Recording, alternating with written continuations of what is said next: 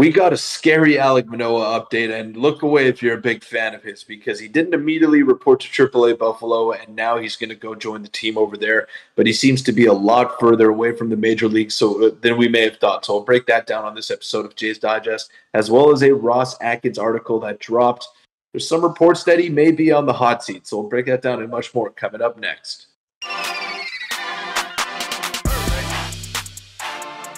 What's up, Jays fans? I'm your host, Peter Vryonis, alongside host Nick Gosse. And uh, shout out to Canada for winning their first game in the FIBA World Cup against France. But uh, a lot of Blue Jays news coming out, Nick.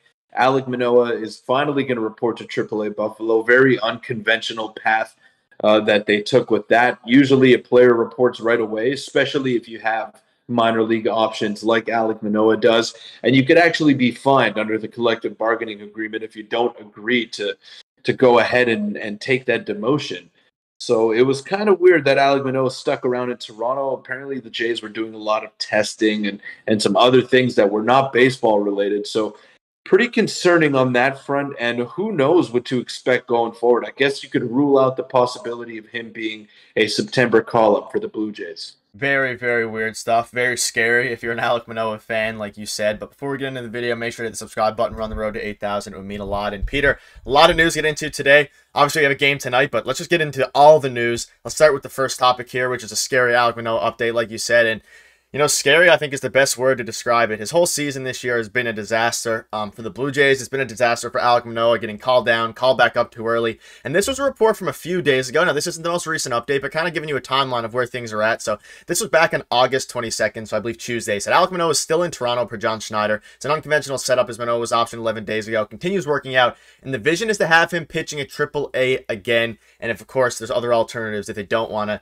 you know, use Alek Manoah if there is an injury. But this dropped yesterday, which is very, very interesting. So Ben Nicholson said, per sources, Manoah is slated to join the Jays AAA affiliate in Syracuse uh, yesterday with no structural issues. He's now preparing to build back up, but there is no timeline or start date set for him, according to manager John Schneider. Now, Peter, very weird. Again, this has been, it's almost a surreal situation going from, you know, a Cy Young finalist to a guy who now it doesn't even seem to be pitching in AAA or not for the foreseeable future. You can kind of rule out a September call up at this point. He has reported to AAA, which is good. So I don't think it was a matter of him not wanting to necessarily, but it seems like the Blue Jays maybe want to get his head right, his uh, physicals right before they want him to pitch anymore.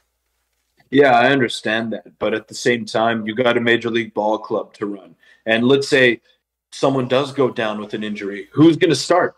Is it going to be Trevor Richards? Okay, fine. then you're Francis. handcuffing yourself. Then you're handcuffing yourself in the bullpen. Uh, yeah, Bowden Francis is another option, but you don't want those guys starting games in a playoff stretch. I, I, don't know if you want Alek Manoah to necessarily start them either, the way that he's pitched this season, but he is someone that has had success and someone that you can rely upon to go deeper in games. So I just don't understand what the wait was. You want to you want to build him back up. He didn't have any injuries when you did send him down. It was purely performance based. And Hyun-Jin Ryu won that fifth starter spot as he should have. He's been pitching very well. And Alek Manoah was the odd man out. They were going with the six man rotation because of the loaded schedule, 17 games in 17 days. You didn't have that anymore. So having a six starter just didn't make any more sense. But you still got to go out there and get your work in. You know, you can't just be idle for 11 days and not pitch. And then if something happens, uh, if someone goes down, even if it's a, a big time arm like Kevin Gausman, not knock on wood, you need backup options in AAA. And there's no one right now. Who's going to come up? Mitch White? No.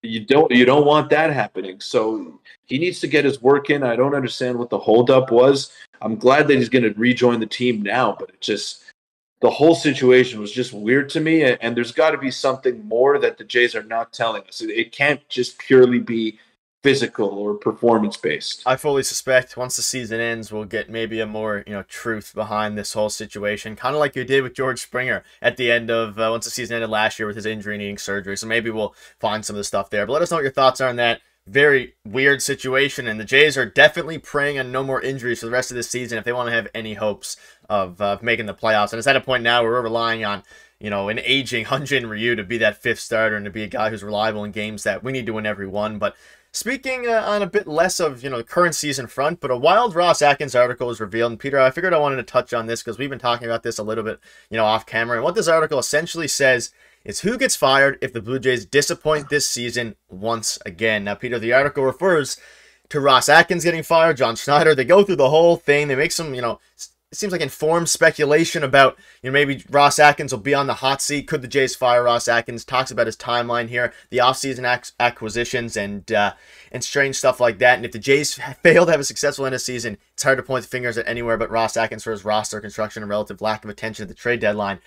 Peter, what are your thoughts on this? And we spoke about this, and this is something we're going to continue to speak about, especially if the Jays miss the playoffs. But do you think the Jays are going to fire someone? Do you think they're going to fire Ross Atkins if they fail to make the playoffs or even get bounced in the wild card round one? Is it Ross Atkins' fault that Vladimir Guerrero Jr. has a 117 WRC plus, Nick? No. Answer that question for me. No. And is it Ross Atkins' fault that other hitters are underperforming? It's not. He built this team the way it needed to be built. They were a flawed roster last season they had too many right handed hitters that struck out, and they didn't have good enough pitching. They changed all of that. They made their defense better. They made their pitching significantly better, and they made their lineup more diversified. But all of their players that needed to be the top dogs this year took a step back. Vladdy took a step back.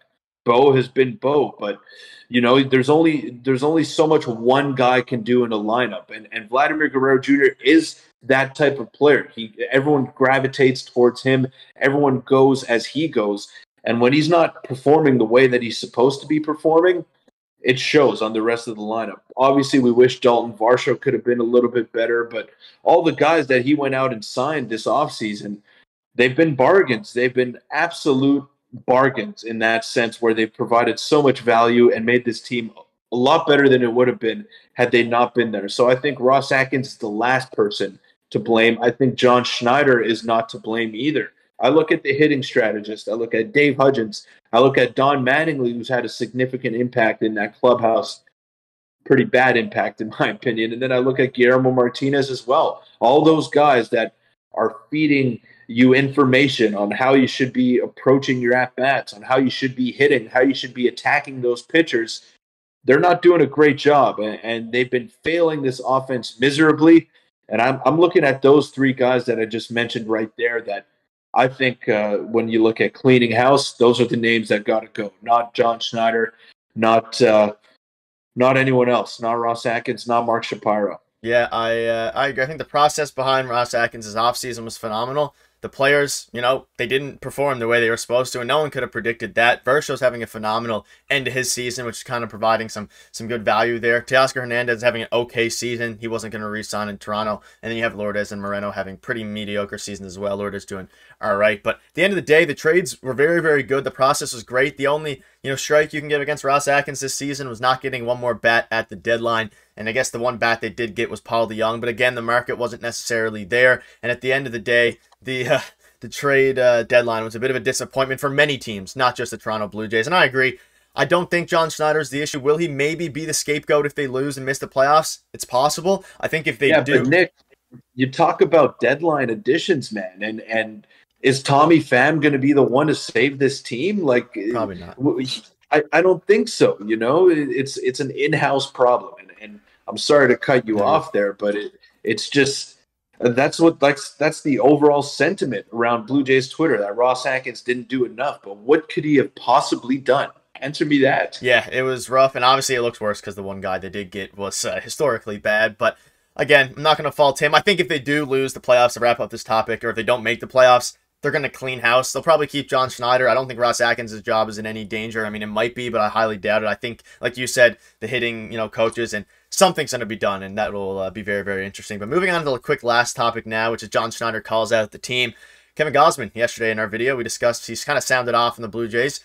John Schneider went in a bit more of a direct approach uh, last night after a really, really bad game. And this is from Ben Nicholson Smith. John Schneider and the importance of turning things around. There's no time to wait. We've got to do this right effing now, is what the actual expletive was. So uh, go look up that clip if you want. It's pretty entertaining. But I mean, he's not wrong. They're playing pretty bad baseball. They had a pretty bad series against the Orioles. Orioles are a phenomenal team, but winning the first game of that series, you're hoping to win at least two out of three in a series like that, especially on a day where the Mariners are off and the Astros are kind of skidding a little bit. They didn't get it done. Any quick thoughts on this John Schneider comment? He seems as fired up as he's going to be about the uh, season, but it might be too little, too late. Who knows? We've been waiting 130 games for him to get fired up in a post-game press conference. What you're sleeping at the wheel, John? Let's go here. But but that, that's what I like to see. He's got to call out his players, and when it comes to the Jays and the Orioles, they were outclassed all season long. They didn't belong on the field with the Orioles, and can't believe I'm saying that after the the expectations that we had going into this year for the Blue Jays. But now's uh, now's crunch time. We spoke about the importance of getting the momentum in that Baltimore series. It ultimately didn't happen, but you have 15 games against subpar opponents coming up here, against sub 500 opponents, and you got to take advantage. Anything less than 11 and 4 in my opinion. I saw people saying they'd be okay with 10 and 5. Not me. 11 and 4 is the minimum that I would take in this 15 game stretch. And if it doesn't happen, then I'm going to be real concerned. yeah, I mean, I think I saw that as well. I think Josh Goldberg tweeted 10 and 5, but 11 and 4. We're going to need that if we want to have any hope of making the playoffs because the Mariners are playing unbelievable baseball. Everyone is playing unbelievable baseball aside from the Texas Rangers as of late. But that'll wrap up the video. A huge series starts today against the Cleveland Guardians. So hopefully they can take care of business after their very disappointing series in Baltimore. And Peter, it's going to be a very, very nerve wracking next uh, 30 or so games. But thank you guys for oh, watching. Oh, yeah. yeah. Thank you guys for watching. We'll see you tomorrow. Thanks.